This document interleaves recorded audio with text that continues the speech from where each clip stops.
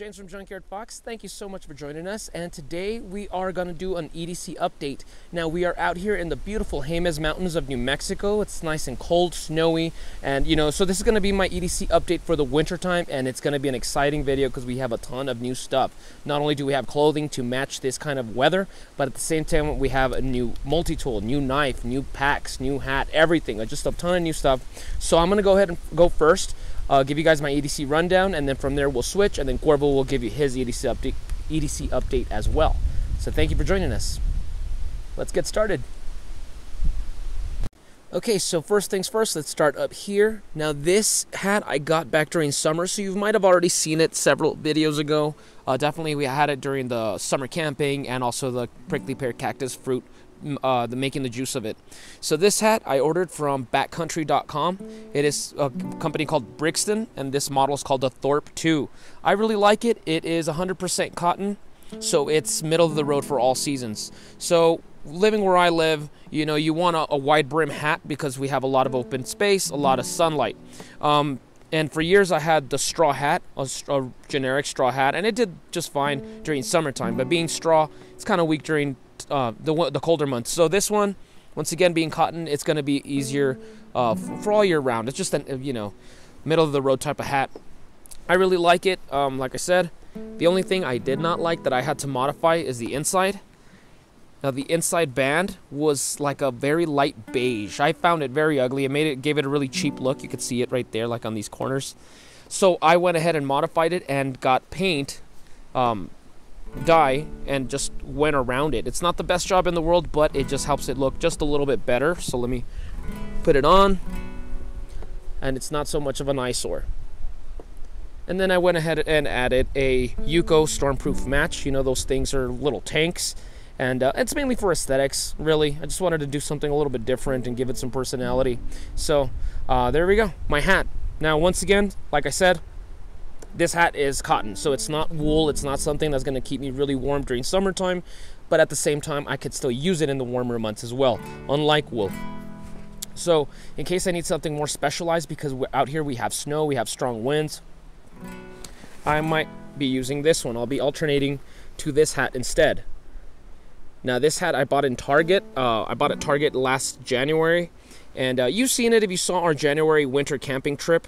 Um, so really warm. It was only like 25 bucks from a company called Goodfellow. Once again, Goodfellow is sold at Target, and uh, you're going to be hearing that name, that brand, quite often in this video.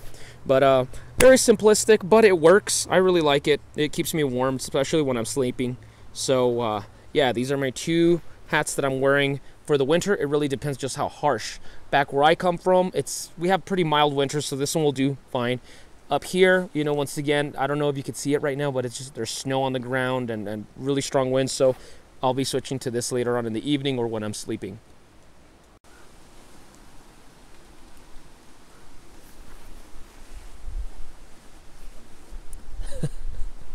Not as cool looking, it's a little dorky, but it's definitely warm. And I like how you can just strap this up and you have your ears covered, you have your cheeks, so once again, this one's definitely more specialized for this type of climate, though I wouldn't be using it very often because I don't live in a very cold environment. Moving on to my coat. Now this coat I just received a couple weeks ago and I am loving it. Now this I ordered from target.com. Once again, it's the, by the same brand Goodfellow that the trapper hat is. And this one is definitely an upgrade from my previous coat because this one is 65% wool.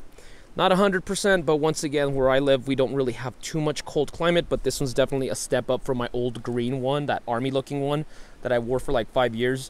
And that one, as much as I love, it is very thin and it's cotton. So like January when we were camping in the mountains in the snow, I was freezing. So I definitely definitely knew this year to go ahead and step up my game in something a little warmer. So as you see, I, I like it. I, I love the color, you know, and I like just uh, the aesthetics. Um, I have pockets here this is normally where I put my gloves when I'm not using them. They go in there. There's pockets up here. And then you can put your hands in here. All right, then opening this up, there's a pocket in here. And in here I have the ThruNite TT10 flashlight. Now this light is, I, I really like it. ThruNite really has yet to make anything that I don't like. However, this one is slightly large. I really wouldn't consider carrying this in person. Like, it, uh, I'm sorry, on my body if it wasn't the fact that it's winter and I carry a coat. So you're able to carry a little bit more stuff. There is a, you know, it does come with a sheet that you can attach to your hip. I'm, I'm fine. I'm just going to keep it in my coat for now. And uh, yeah, so we'll have a review coming in pretty soon on the ThruNite TT10. Putting this back. Other than that, um, at the very bottom of the zipper, you see I have one of those Exotac Tinder zips. And you've seen this recently when we reviewed it. You cut this open, and then the inside there's a material that will burn continuously for about two minutes. Really good stuff. I was really impressed by it. So I, I went ahead and added these to all my coats. Um, so yeah, it's always there, just like the match on my hat. You know, it's just there in case I need it. But other than that, it looks cool. And I think that's about it for this coat. Oh, moving on to my gloves. Now, once again, talking about my old gear, uh, you've seen me for a long time using gray gloves, a gray pair of gloves, and those were cheapy. I bought them at Target too. I think I bought them the same day I bought my army green jacket, um, but they were just beat to hell, and they were quite thin. Once again, that you know, so planning for this trip, knowing I was going to be in a much colder environment, I bought these minus 33, 100% merino wool fingerless gloves. So they look really cool. I really like them. You can feel the quality. They keep me warm. And once again, I like fingerless gloves because it still allows me dexterity to do things. So if I'm carving or, you know, something like that, my hands, I still have movement. I don't like mittens or, or gloves or that kind of stuff that are completely cover your fingers. So yeah, coat, hat, gloves. And uh, like I said, when I'm not using them, they go in these pockets. So there you go. Other than that, we have a bandana I'm just putting it up here because later on at night it gets cold. I cover up. Okay, so I'm removing the coat. From here you see a notepad and pen. You've seen this a million times with me. I'm always writing down ideas or objectives, that kind of stuff. From here I have on my wrist my Timex Weekender watch. Simplistic, it's very simple, but I like it. And once again, it goes with that green, that foliage green that I really like, that olive drab. So we got that and moving down to my belt. This is where all the cool stuff is. So right here in my pocket, I carry my Titan light from Exotac. This lighter is just bomb proof. I love it. It looks so cool. I always get really cool comments. You know, people are, um, they remark on how cool it, looks. Okay, right here, moving on to this, my pouch that you always see me carrying. Um, one new thing that I added, I had it years ago, but I didn't really use it, so I took it off, is this Victorinox hand, uh, it's a sharpener for your knives. Now the jury's still out because I had never really used it to be honest. So I just thought, you know, I just put it away. Um, it's Victorinox, so I'm sure it's quality. I just don't have a lot of experience where I can like comfortably recommend it or not. So I still got to do more testing on that. Before I had a flashlight here, but I gave it away, so the space was vacant. So I decided to bring this along. In the back, I have a backup lighter, just a cheapy Bic. And here's where it gets really cool. I left the Victorinox Trekker at home, my Swiss Army knife, and I instead brought the Leatherman Blast. Now, the Leatherman Blast is really awesome. Uh, this model is no longer made by Leatherman, and I came across a really cool deal for 30 bucks to get the, you know, it was being sold. Um, so I jumped on it, and I really like it. Once again, being Leatherman, you got your pliers right there wire cutters. This one has locking tools. It has knife. It has scissors, a folding, uh, I'm sorry, a small saw, uh, screwdriver. So, you know, it has what you expect from a Leatherman. Re I really like it. I definitely like it more than the Leatherman Wingman that I have. Um, if I had to choose, I still think I, I prefer the Victorinox Trekker, but that's once again because I've carried it almost daily for seven years. So I know where all the tools are. I don't even have to look you know, to access a specific tool. This one, when I'm working on something, I'm on a roof or something, I, I have to stop and look around to find what I'm looking for, which screwdriver and all that stuff. So that's not the fault of the tool. That's just me, my lack of experience with it. But there we go, new multi-tool. And this one, I am not gonna review what's the point. They, don't make it anymore, but uh, really like it. Sorry if I'm stuttering, guys. I'm, I'm getting cold. But uh, there we go back pocket, a backup bandana. Alright, moving on to my belt knife. Look at this thing. The LT Wright Gen 5 knife. A beast of a knife. Now, you guys know LT Wright knives, they make some really quality stuff, and this one really doesn't change too much. I mean, this is essentially just a, a buff version of a Kephart knife. You know, it's very similar to their Genesis. I have I happen to own the Genesis in a flat grind, so I'm comfortable. I'm, I'm well aware of like the handle and all that stuff. Um, the quality of LT Wright knives. It has a killer 90 degree spine for starting fires. You know, pretty comfortable A2 steel. This one has a saber grind, and it is longer than your average Genesis knife. So it's definitely going to be more of a workhorse um, I will be making a review on this pretty soon. Hopefully, I make a bow drill and maybe cook up a rabbit with it. And then it comes with the sheath, standard JRE Industry sheath that comes with the LT Wright knives. And one thing I added was, uh, I'm sorry, not added, but I kept, is the dangler because I normally remove danglers from my knives. I don't like them. I like my knife to just be snug against my hip. But with this being cold, you know, the in a cold winter camping, I have my coat on. It's just easier that this way for me to access my knife when I have my coat on. But uh, once again, let me show this baby off. Check that out. Moving down to my boots. Of course, I always carry uh, wear my Justin cowboy boots. These have been resold recently. Um, you know, I just like cowboy boots. I understand that this weather that I'm we're in with snow, these boots are not ideal for it. You know, in an ideal world, I would have bought some, you know, some go, um, what do you call them? The Arctic muck boots or something like that. However, I had to buy tires and bought a new coat, new gloves, so, you know, I'm not rich. So I'm just making do with what I have. I have wool socks underneath. In fact, I'm wearing thermal uh, underclothing all over, you know, in my pants and a shirt as well underneath so I can be warmer and I did remove the spurs because they're iron. You know, the spurs are they're metal, and metal's a conductor. You know, I'm gonna be freezing my damn ankles with them out here, so I left them at home.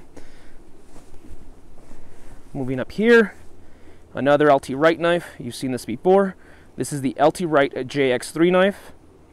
So this knife doesn't see a lot of action because you know I have a belt knife and I have a, a multi-tool that has a knife. So this one rarely sees action, but because of that, I have it razor sharpening for an emergency. Um, and you've, you've seen, uh, we made a review on it where we made a squirrel stew, made a one stick fire. So this knife is small, but it, it can work. It definitely can work. Really rugged and uh, have sentimental value because it was given to me by Chris Tanner from Prepared Mind 101 and LT Wright. So I always have that here as a backup cutting tool. And then over here on this boot, I did something a little different this time, and I don't know if it's a good idea or it's just stupid or whatever, but once again, you know, I'm just trying to think outside the box. And with this, I decided since they're always covered, you know, um, I decided to just put like a good amount of paracord. I have about 25 feet of paracord, and I just wrapped it around the ears, the loops of the boot, and they don't get in my way or anything. Um, but whenever I do need cordage, if I need cordage, I have some there for emergency. Of course, I would have some in my pack or whatever. But um, like I said, I'm just trying to think outside the box. So it could be dorky, you know, it could be dumb. But um, yeah, you know, I put this put this down. Nobody knows. I'm not, you know, it's not a cumbersome to me in any way. And I have some cordage there on me at all times. So gonna test that out for a while. Okay, and now for my new haversack. Check this beauty out. It is so awesome. This is the new haversack from the Hidden Woodsman. This one's called the M44 haversack or the Eisenhower, um, inspired by a lot more like uh, World War II style designs. But I mean, I just think it's so awesome. Check out the logo right there of the Hidden Woodsman. I love these straps, adjustable straps right here. They look so cool. Okay, so this is gonna get a review once I have more months testing it, more more experience with it. But for now, I mean, it, it's Hidden Woodsman, so you know it's quality. And I just really like the design, and it looks very different from what he's done before. Now back here, there is a place, a pocket here where you can place, you know, you could put a map, notepad, something like that. I have this extra small pouch from the Hidden Woodsman, and in there I normally carry my microphone. But since we're filming, of course, it's not being used. Um, it's in use right now, so it's not in there. But I just put that down. All right, let's go ahead and open this up. See what I'm carrying. All right, so here we go. First things first is my Howling Dingo kangaroo leather pouch. So you've seen this here and there. I'll be reviewing, I'll be giving more information on Howling Dingo products. Now, Howling Dingo is Al. He has a YouTube channel. He's in Australia. And uh, man, I mean, check this out. It looks just so awesome. And once again, kangaroo leather. That's exotic. That's really cool. And I like that old world look of this. And here it's basically my, my backup fire kit. I have another Exotac fire sleeve. This keeps a Bic in there uh, with uh, a rubber cover that, you know, it's able to float. It's able to just provide better grip. All that stuff. I really like it. Pine Fire, it's some little things to start fire. Pine Fire is no longer a company that exists anymore. So that sucks. But their stuff was really good a cotton ball, and another Exotac Tenders, Tenderton, and this one has Fatwood shavings. So if I need to make a fire in a hurry, which we're going to be doing right now before the sun sets because it's damn cold out right now, uh, we're going to put these things to good use. But yeah, so once again, Howling Dingo, really good stuff here. I'm just shoving this thing in there because I'm cold. But yeah, Really cool little pouch. Moving on, I have a secondary flashlight, and this is normally the flashlight I have on my person. Normally the, the ThruNite T1. I love this thing. This is my favorite EDC flashlight of all time. But since I have a larger flashlight on my coat right now, I decided to put this one away in here. So I'm not carrying too many things in my pockets. So redundant source of illumination. Here is my nesting cup and canteen. This is from the Pathfinder school. I got this years ago, I think like 2015, I think. Um, and yeah, just you can boil water, you know, you can make food, coffee, whatever the case may be. So I have a container on me. And that's the beauty of having a, a taller haversack that I'm able to fit this in there comfortably. So there's that. The lid for the nesting cup. This is a OneTigris poncho. So this is just in case, um, you know, it rains or something like that. I have a small form of micro shelter that can help me out. Uh, and this actually came in handy during our winter camping trip. If you saw that video a couple videos ago, uh, back in like August, uh, it, we had a really huge hailstorm and it just kept raining on continuously during that camping trip. So this definitely came in handy and it doesn't take up much space. My OUTXE portable charger. So this helps me out charging my phone, which we use to record, uh, charges the flashlights, charges the lanterns. So really like this thing. And once again, this one's not too big and bulky where it's not going to be fit in there comfortably. So there we go, charger.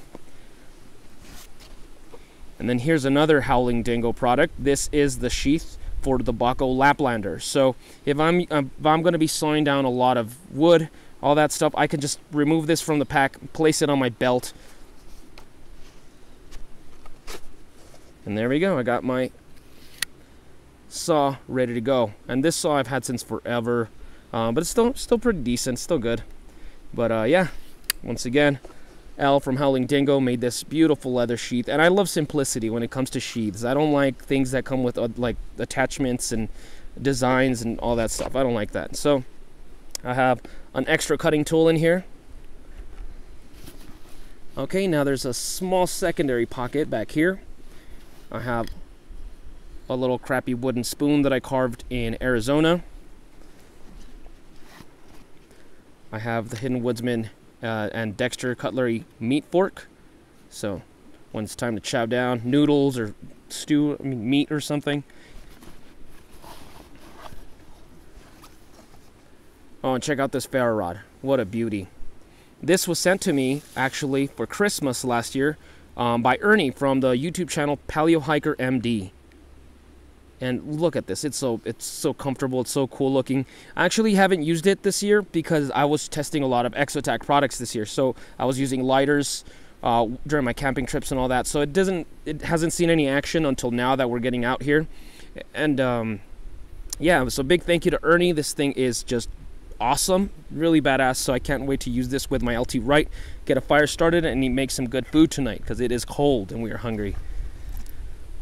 Then of course, this is uh, connect this to my portable battery bank and uh, charge my phone. I'm, I'm sorry, charge my flashlights or something.